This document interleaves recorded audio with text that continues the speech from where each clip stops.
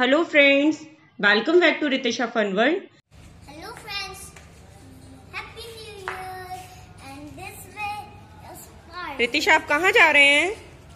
पूजा करने नवरात्रि में। दोस्तों जैसा कि पता है कि चैत्र के नवरात्रे स्टार्ट हो गए चैत्र के नवरात्रे 2022 2022 में 2 अप्रैल सैटरडे से स्टार्ट हुए हैं। इस नवरात्रि के पहले दिन माता शैलपुत्री की पूजा अर्चना की जाती है। नवरात्रि के, पता है बच्चों आपको? नवरात्रि के जो नौ दिन होते हैं, उसमें देवी जी के नौ रूपों को पूजा करने का विधान है। इस दिन भक्त लोग माँ दुर्गा से आशीर्वाद लेते हैं।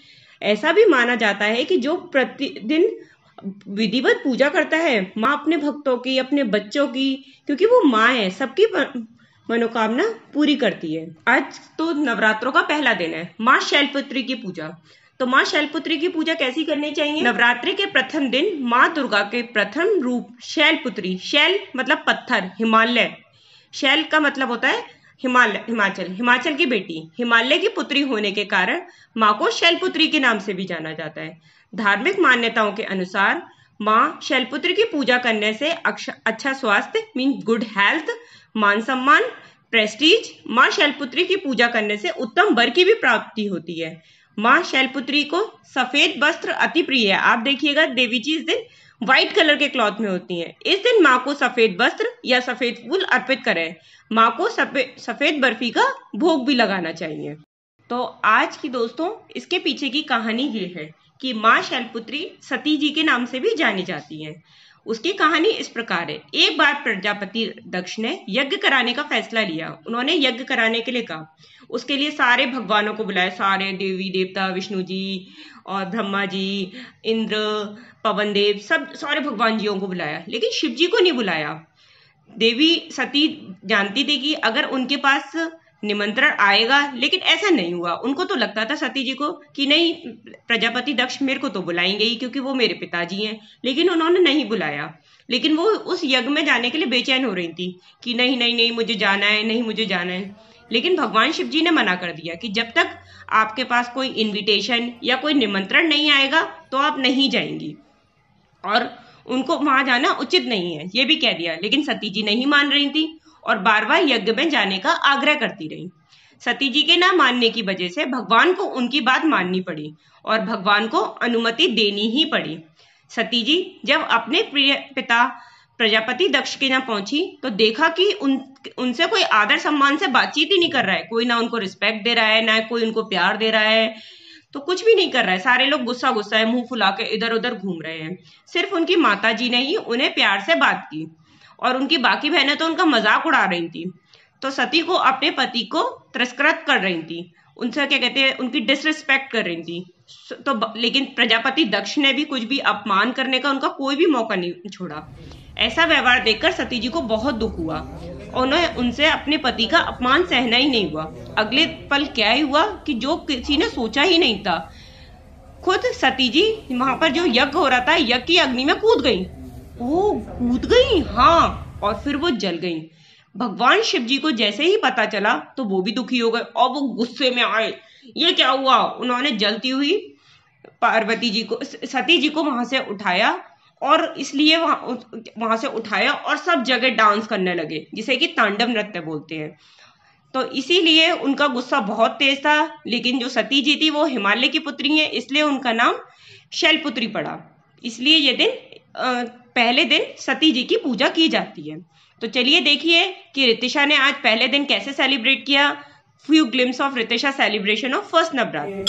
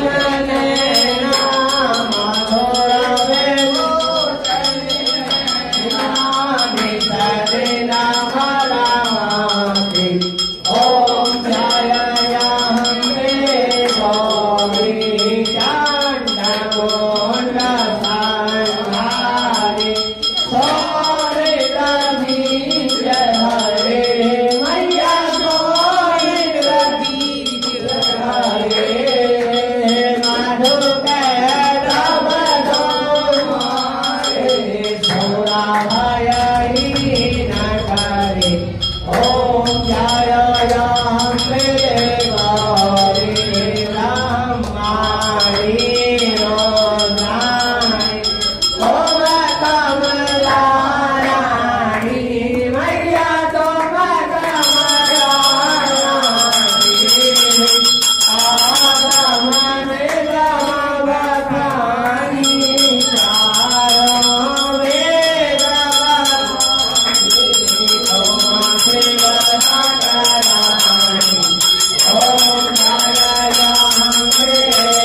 Amen.